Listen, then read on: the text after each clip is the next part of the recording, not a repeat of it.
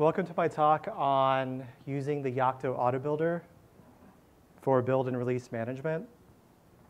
Um, first of all, I guess I'll tell you a little bit about myself. So I started out and then I designed a schematic in PCB for the Coldfire 5235. And then I brought it up, worked on U-boot, porting it to our specific board, and Micro C Linux was our distribution and our build system. And brought up the Linux kernel drivers, used all the good open source tools that we all use. And in the last couple years, I've been working with the Yocto project tools for some of our new, one of our new products. So this talk is not based on Dora the Explorer. It's actually based on the Dora version of Poky and Open Embedded Core. Um, just, we've been stuck on this as a lot of us are because of other management priorities. So we do have some tech technical debt that we have to pay off. And basically it's, if we find a bug that's available, that's been fixed in the upstream, we pull it back.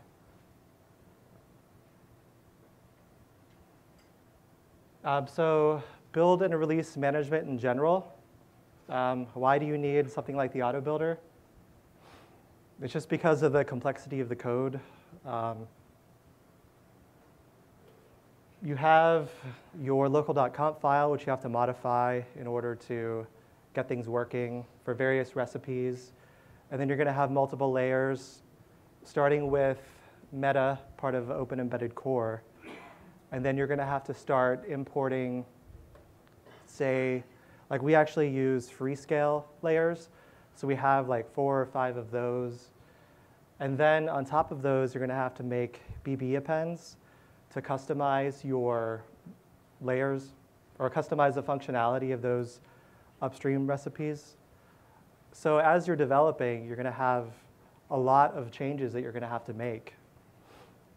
And you might start working on one item and then switch to another one because you find out, oh, I have to work on this. So you're going to have changes scattered around.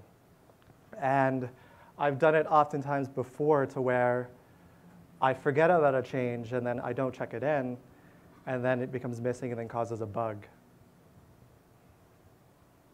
So you need something official to pull cleanly from source and then do a build so you can avoid those kind of errors. So we decided to use Yocto Project's Auto Builder because it was, it was there and it's open source. I think other tools are open source as well, but this seemed relatively easy to use, so we grabbed that. It's based on BuildBot, which is a Python library, which allows you to more easily do continuous integration. Auto Builder itself the code adds support for layer retrieval. So all the layers that you need. And then there are custom build steps to handle all the things that you have to do as a, as a developer of Open Embedded Core.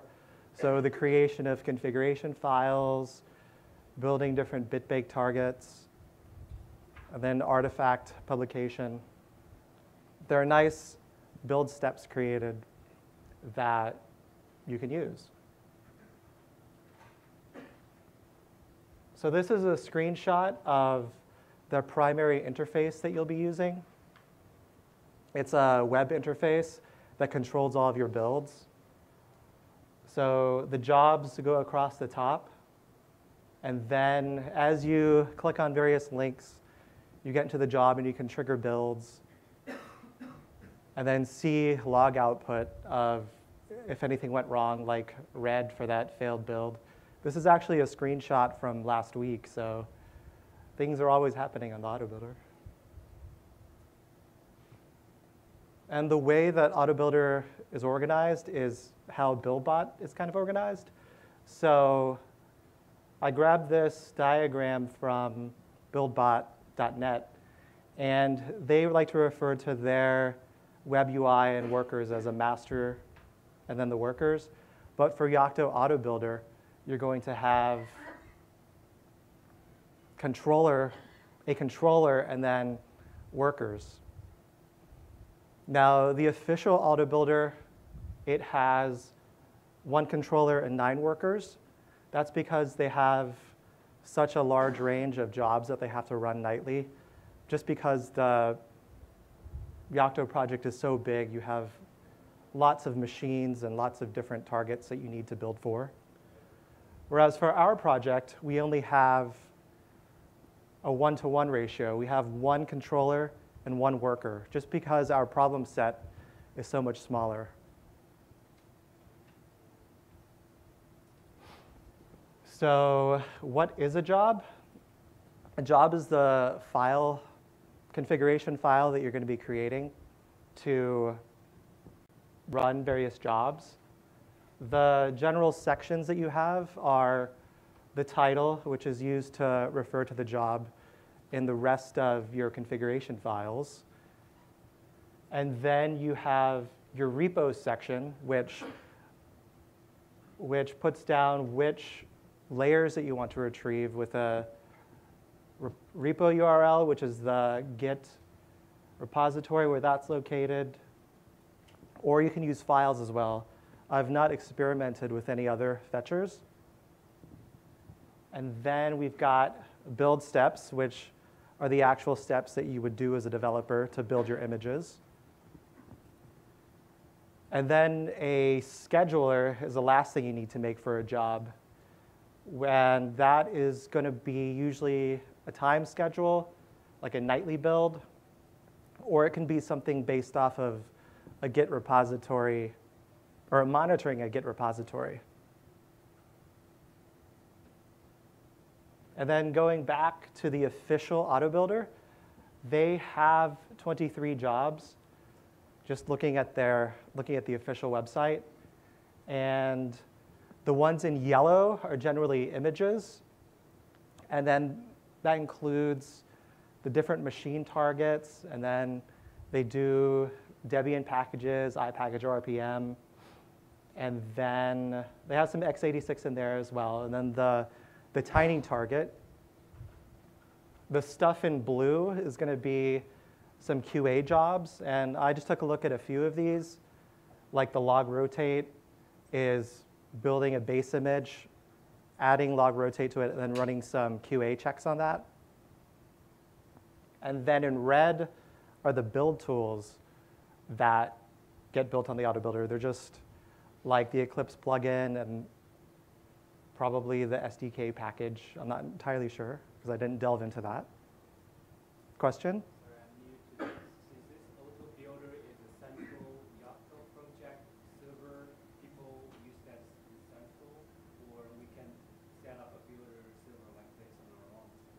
Okay, the question is kind of do, do you, does everybody use the auto builder, the official auto builder, or do you set up your own? And the answer is usually you're going to set up your own. The, this URL that you can go to is just the Yocto project's official auto builder. And then once you set it up on your local server, it'll be available for you to control.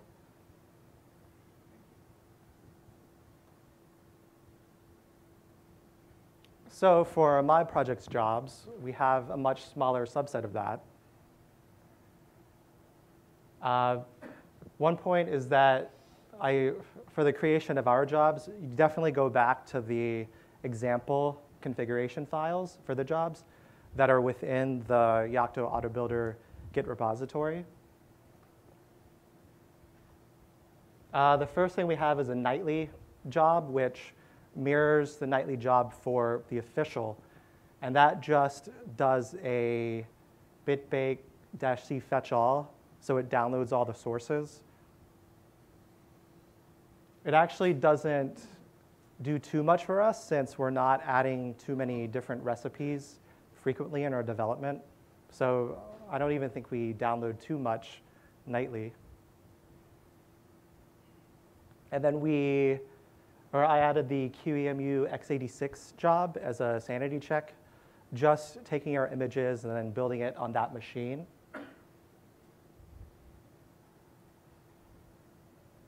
And then we have two more jobs for a master, master branch, which is our main development branch. And then additionally, we have a stable branch, which doesn't change as much, and it's used for releases. We have another job to build that. And then we have a, a new job recently, which builds a single RPM, which is used by one of our product teams.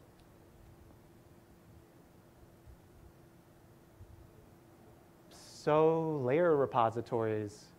Going back to the repos section of the job configuration file, you're going to have two types of layer repositories. The first one is going to be your upstream repositories, which are like Poky and Meta FSL ARM. Those are usually going to be a fixed source revision. You're going to pick uh, release from, that, those projects and then fix them for your build. And then you're going to develop your layers on top of that using the OE core layering system. And the ones in blue are represent our local layers.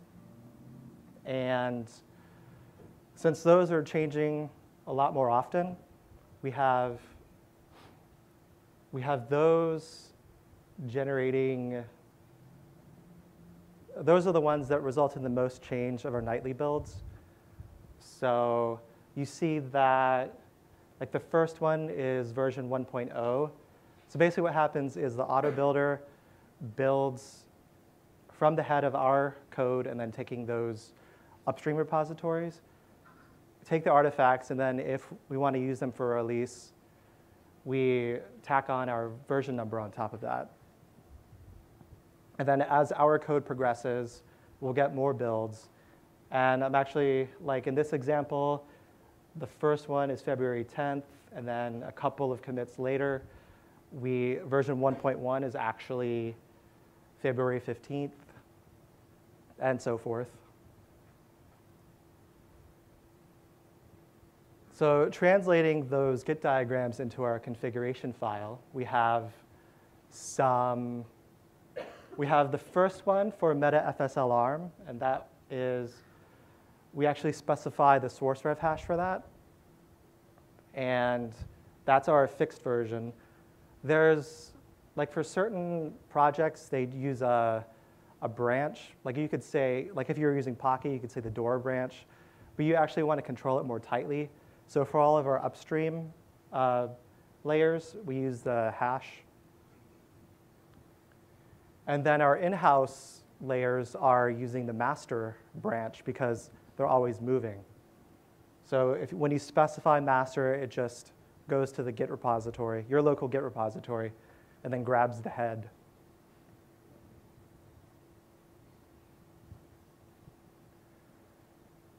Now, kind of as a side note, I mean, it's part of the release process, is that we have some checkout scripts to check out our layers for our developers because it's just easy for them to use a script to check everything out. And right, it, it matches the repo section of the auto builder job. And then it does the same thing with the fixed upstream and then the local heads of the master. And another, another script that we use is a release script. So that gets generated whenever a version is released. And that is going to specify the source rev, like the specific source rev that was used in each build. So if you found a bug within your image, your released image, you could use that script to check out the set of layers. And then you could go back and debug the build if necessary.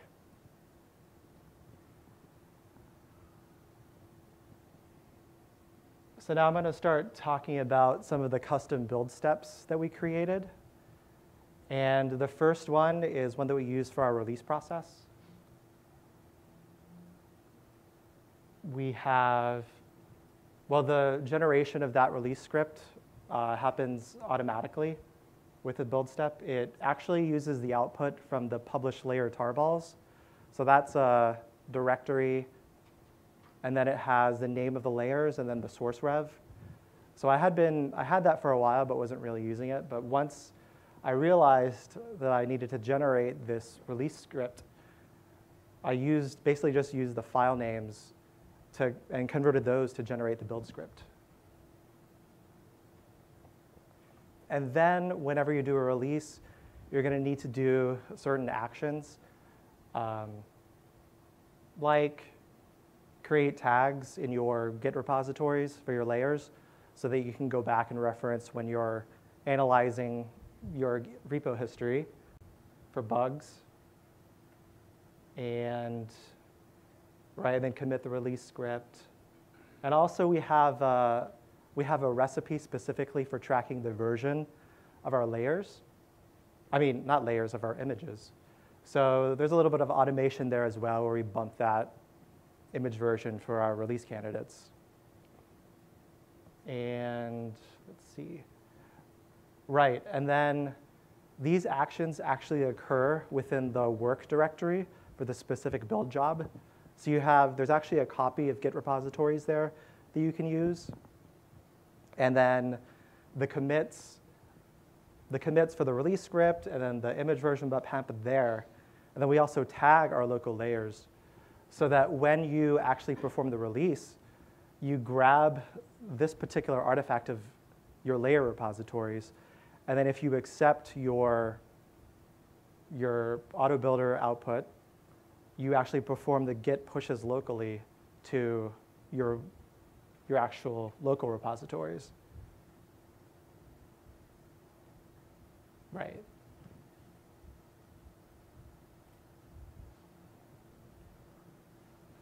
So along the idea of trying to control more things within source control is the template conf variable. Uh, first of all, one of the first things you do when you set up your build environment for Poky Open Embedded is you have to source this OE init build env script, appropriately named. And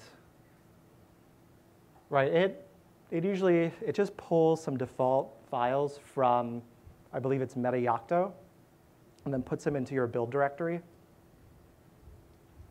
Now, what the template conf lets you do is specify a different directory within your layers. And that's nice because of the controlling things within source control. So you specify that as an environment variable when you're sourcing that script, and it'll pull, it'll pull from that directory and then install your own custom local.conf sample and then your bb layers.conf sample as well in your conf directory.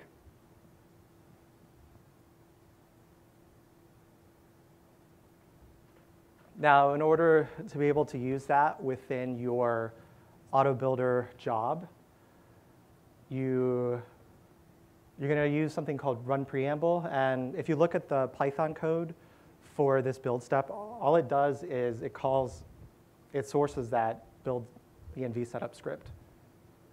So initially, so what I did, because like I said, I'm working on Dora, is that I created a second run preamble build step just to add the template conf directory.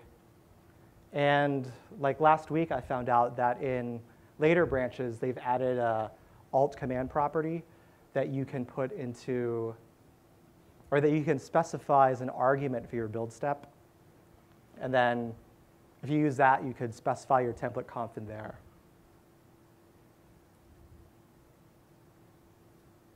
And then just as a aside, when you're setting up your configuration files, um,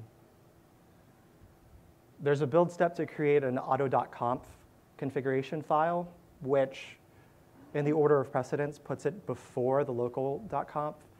So if there's anything that you need to do specifically for your auto builder job, use that build step and then just put more entries for your Poky configuration in there, like if you wanted to override a package version or something, you just put it into auto.conf.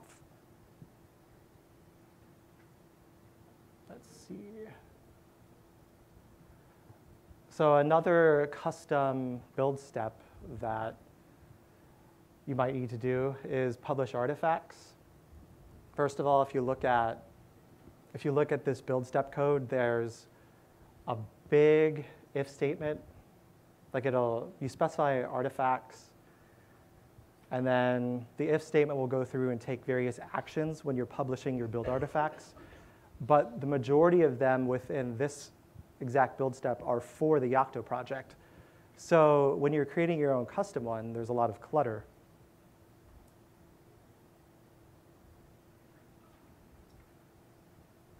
So another thing that the default publish artifacts does is it copies everything within the, within the deploy images directory.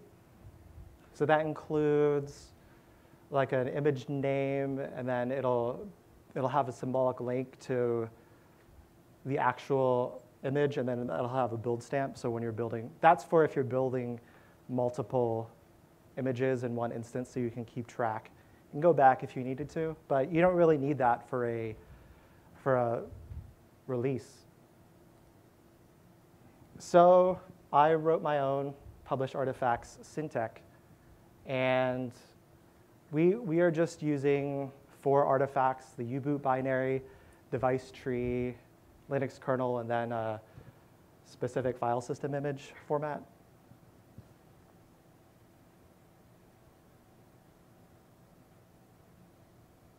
So I added some coding tips for when you're working with build steps. It's like one thing that happens is that you need to map stuff that you set up in your environment. So a lot of the configuration with an auto builder occurs with environment variables that are available to the, to the servers. And those are written in the file autobuilder.conf. You set environment variables in there, and then there's buildset.py, which does the exact, the, it does the instantiation of the build steps as objects. And it will actually read stuff from the environment, set a Python variable, and then use it in each build steps initialization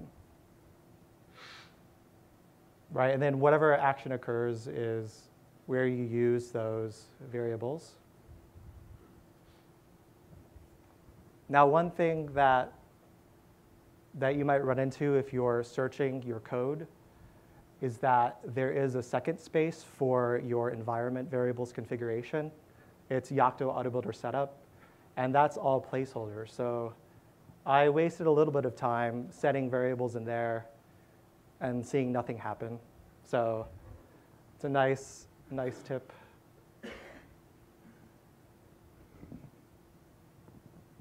Uh, another part of creating your build steps is that a lot of the functionality comes from shell commands. So within the, within the build step, you construct a command string, which is just the shell commands, and you append to it, and it can get pretty big. And if you go to, when you go to the auto builder log output for this exact build step, you're going to get a really long string that goes way off the screen. And then you have to scroll over. It's just not good for when you're trying to see if what the command string that you created was sane.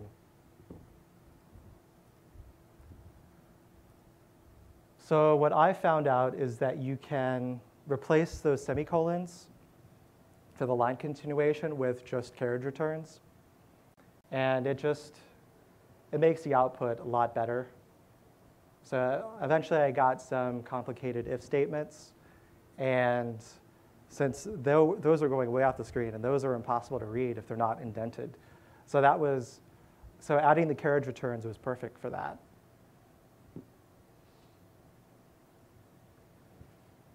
Then moving away from build steps a little bit to using pre-mirrors. So within Poky Open Embedded Core, you can use something that's called a pre-mirror to, to speed up your builds and optimize space. A pre-mirror uh, is of your state cache directory and then your downloads directory. So just like in the diagram, your, your pre-mirror is read, pre-mirror is read by your developer build. And what happens is as the developer is building, their Bitbake instance will generate a hash, and then it will go to the pre-mirror first, and then see if see if there's an artifact within the state cache which is available, and if there is, the that instance, the developer's instance of Bitbake, will create a symbolic link within its local state cache directory. And then whenever the build process needs to grab it, it'll just go there. So it's a little bit more space efficient.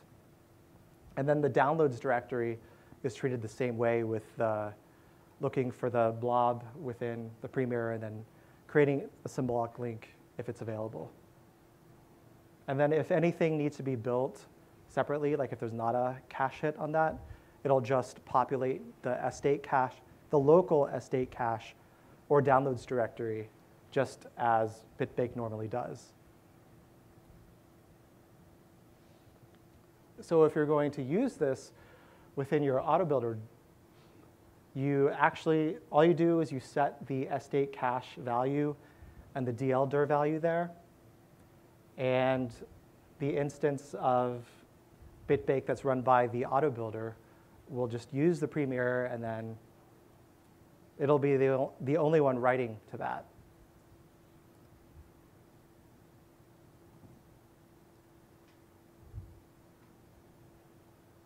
It's like another, another thing that happens when you're running a AutoBuilder instance is that your disk, disk space gets chewed up as you're building nightly or whatever frequency. So I had to create a cron job to clean it. It's pretty simple. It just goes to the publish artifacts directory, looks for anything that's older than five days or whatever time period you want, and then it executes the very safe command of rm-rf. So you don't want to run this as root. Bad idea. So another thing that you can do is, that you might need to do is run the state cache management script.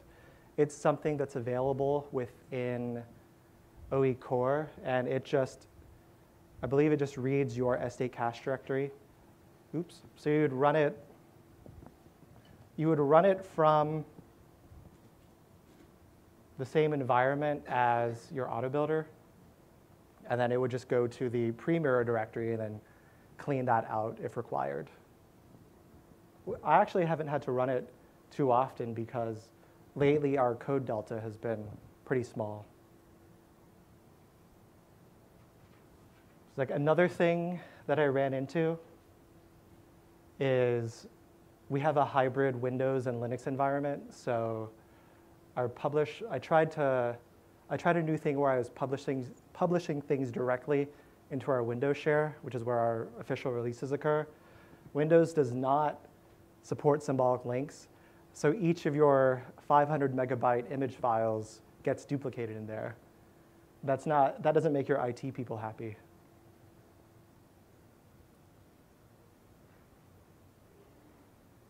Uh, just as uh, another thing for your actual configuration storage, I just created another directory within the Yocto AutoBuilder source tree, build set config syntech, and then put all of our jobs there. So we have our own, we have our own copy of Yocto AutoBuilder Git repository. We have our own branch. And then another thing you have to set up is controller.cfg. That includes your login credentials for your web GUI accounts. So you don't want to put that onto GitHub. I believe there were some security holes with people publishing their secret credentials on there. Uh, right, and then of course your autobuilder.conf containing your configuration. Also, we also put that into our local Yocto AutoBuilder repository. And the tips and tricks section. Right, going back to the, that one job, which is the RPM build for one of our teams. Our nightly build, our nightly image builds didn't happen frequently enough for them, and there was a bit of overhead with the actual release process. So they figured out that there was this scheduler called GitPoller, and what it does is it's one that monitors, it's the one that monitors a Git repository, looks for any changes, and then if there are, there's like a cooling off period, like 60 seconds or something. And then once that occurs, it will trigger a build. So this job, at its core, it just does bitbake and then the, the recipe for their project. And that's actually one of the items that you would put into the auto.conf configuration file.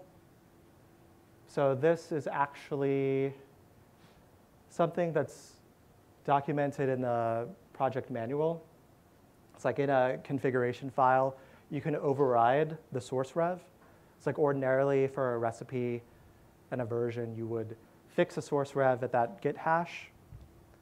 And what you do in your auto.conf file for this job is you override that with autorev, which will tell, tell the bitbake fetcher to grab the head of the branch that's specified. And then you also need to override the package version so that it has this nice git string and then part of the hash so you can identify it. One thing that's bitten me a couple of times with appending stuff within that top level configuration file is the order of appends. If you use this append flag right here, it's like I always, I always forget that you can't put it at the end. It's like every single time. It's like the US, plugging in a USB cable, you're always gonna get it wrong the first time. So just, just as a nice tip, the append will go first before any package name uh, specifications. It's like another thing that you want to use with the auto builder is the build history. That's something that you can put into your auto.conf. And what it does is it has the image recipe inherit a BB class. And each time an image is built, it's going to put a bunch of metadata into a Git repository that you specify. And it tracks, it'll output every single file that's in the file system. Its permissions and owner and group. And it will also output the data about each of the, each of the packages that get built. So the versions, the files contained within. And what you can do is each time, well, each time you build or if you use tag, if you tag that output with the version number of your releases, you can make a comparison between, say, your nightly builds, or if you wanted to go from released version to released version, and you can see if anything has changed in that. So if a file disappears that you weren't intending, or really, something that's supposed to be really big, it's really small, you can use that to try to identify bugs before, before they get into the field or identify them early. And uh, now to the section about future tasks. Uh, one thing that happens frequently with well, not too frequently, but often enough with our auto builder is that you get external layer outages. So a lot of your upstream layers come from GitHub, Git, git.freescale.com, or Yocto project itself. And you can run into network problems like say the some kind of botnet attacks DYN, which provides DNS for GitHub. That happened earlier this year. And that day, I was trying to build something with the auto builder, and then it just didn't work. It couldn't reach GitHub. And then, of course, you might have local IT issues as well. So there is a feature within the auto builder, which is to use a mirror for the external layers. It's not super well documented, and it is a little bit of a work in progress. It's like I was just trying to get it done before the conference. So the one variable that you set is the OGIT mirror directory, and then that gets passed through into the build steps. And the checkout layers build step will actually try to use it as a mirror. I did have to add some code to resolve layers, the resolve layers build step, which for any layer repository that's a branch based, it will try to go and retrieve the source rev.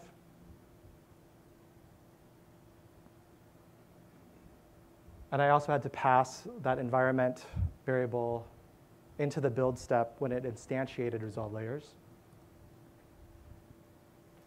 Now I did, I did hack checkout layers a little bit, and then so I actually changed the behavior of the underlying checkout. Like this is very specific to the code, so I don't know how useful it is to you guys. But right before I left, I think I figured out that in your checkout layers, you're going to want to use method fresh and mode full. Um, once you get into the code, there's not any documentation on that, on the checkout layers mode steps specifically. But that's what I think will work so far. And I think that if it, if you do specify this mode, it will always go to the mirror directory if it's available haven't fully figured out what the best way to do this yet is. And let's see, combining repos and the checkout scripts. This is something that goes back to the idea of trying to control things within source control. So once you have your auto builder job and then your checkout scripts, they, they actually have contain the same metadata and that's not good because if you make a change in one place, it might not, it might not go, it doesn't go automatically to the other place. So then you're bound to run into bugs. I definitely introduced some bugs by doing that. So one outstanding problem is trying to convert between the two. I don't know if it's just using that auto builder configuration file to as the actual source for the checkout script um, I do know that this problem is, well, Bitbake provides the downloads directory for, for um, build source retrieval. So it might be nice to include those libraries so that maybe you could also use the, you could use Bitbake's mirror code somehow. I know there's other work for to try to automate layer retrieval as well because it's such a big problem.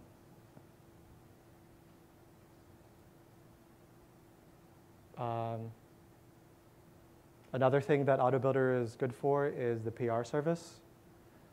That's, that's actually something that you use for to help you track your package revisions. So anytime there's a change, in your recipe, it's going to automatically bump a revision number, like the last number in your package version. And like the documentation for this specifies that your that whatever your official package feed needs to use a service so that your released packages can be consistent. So AutoBuilder is perfect for that you gotta you have to start the Bitbake PR serve as a service, and then pop in this value, PR serve host into your auto.conf file. There are a couple of more variables which I have not added to this slide, but they're within the mega manual. And then another thing that I'm going to have to do whenever I implement this is periodically use this BitBake PR server tool to export that database so that it can be backed up in case, in case our build server goes poof.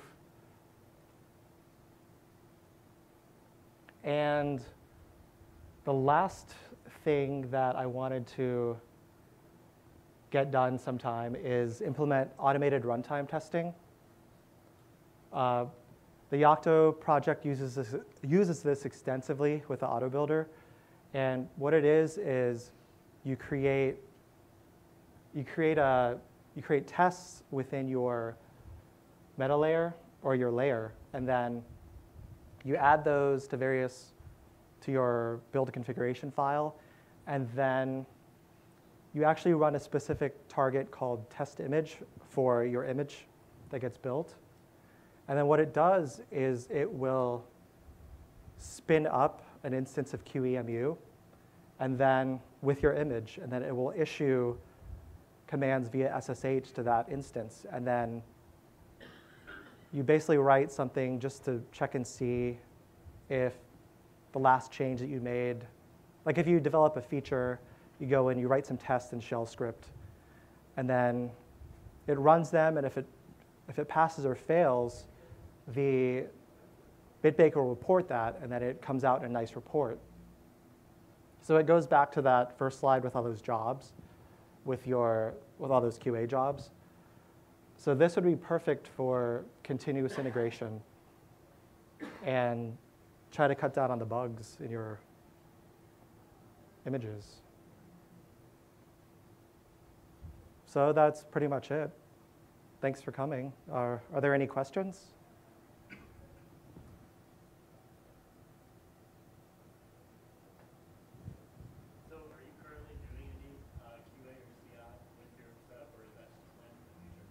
Um, I was able to, I worked on a couple, like I found out about the, about the automated tests. So then I work, as I was working on some features, I did write some tests. And then they, the tests worked pretty well. And, but I just haven't had a chance to put them into the auto builder infrastructure. So like I have, I have my own layer called meta syntech test of all things that has those has, it has a couple of tests, but I just haven't had a chance to fully integrate it into AutoBuilder.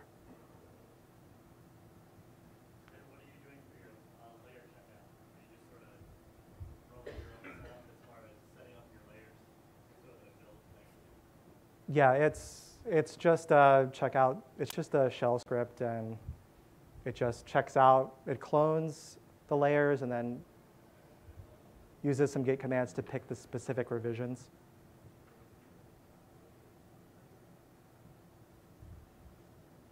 Any other questions?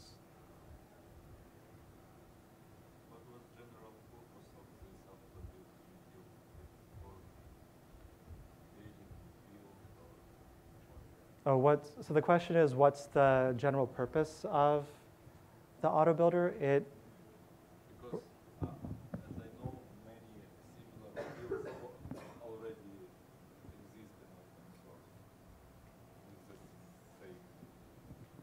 Oh, so maybe the question is more why the auto builder versus other tools like Jenkins or. Um, it was just, it was something that was in the Yocto project, so I just wanted, I just decided to grab that because also we didn't have, we didn't have continuous integration in any other groups in our department. Um, so I was kind of the, the first person to do it. Since we didn't have anything, I was like, oh, AutoBuilder seems okay. So I just grabbed that and started using it.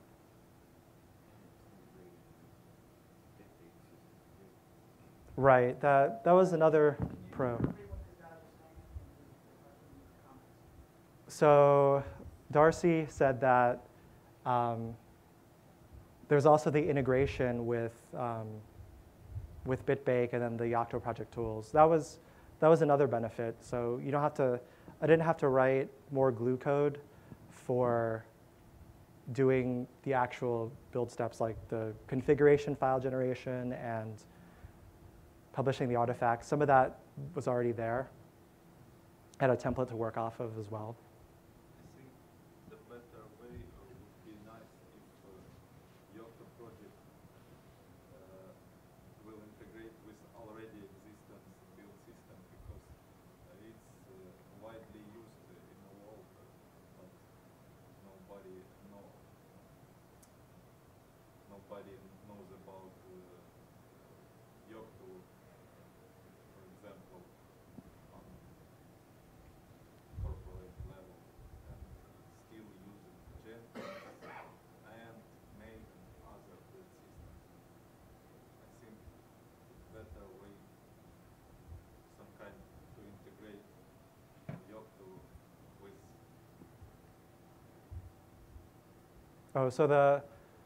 so the statement is that it would be nice if there was more integration between the Yocto Auto Builder and then other, the other um, continuous integration tools that are, that I guess corporate entities are more aware of, which, which makes sense.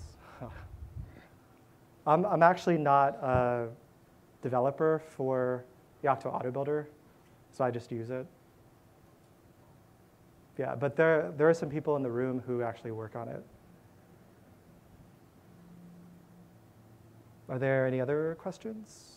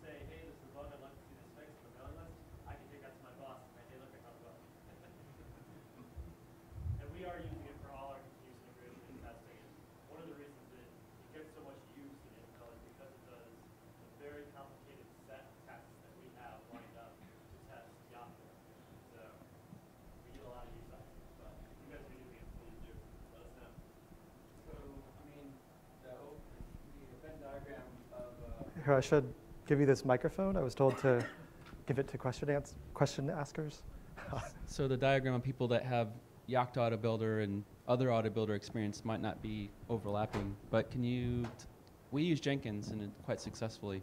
Um, any c- advantages that you would see the Yocto Auto Builder over, over Jenkins?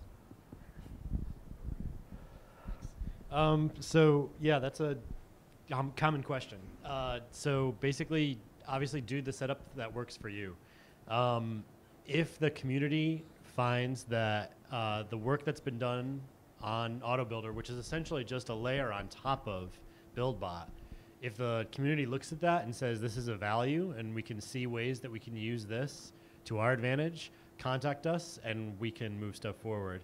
The reason we use it is very um, is very internally uh, I want to say greedy, but like it's for our own purposes. So we have our own tests that are like baked into AutoBuilder that it would take a lot of work for us to move that to a different system. So we're currently using it to our benefit. But if you look at the code and say, you know, we could use this at our corporation, it just needs to have this feature and this feature. For example, somebody men- mentioned plugins, which is definitely something that we'd be interested in.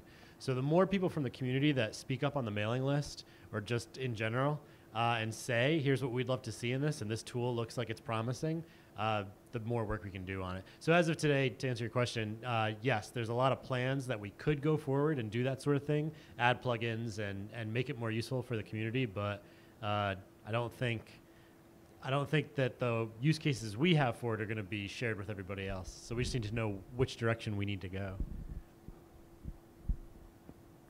All right, everybody, I'm told that there's only one minute left, so I guess that's the end of my talk. Thanks for coming.